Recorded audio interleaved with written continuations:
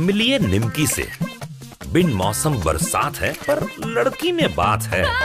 दीदी हम और आलू छीलेंगे।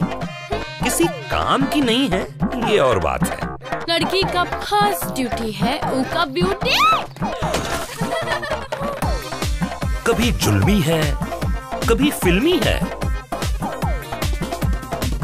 अटपटी है पर चटपटी है।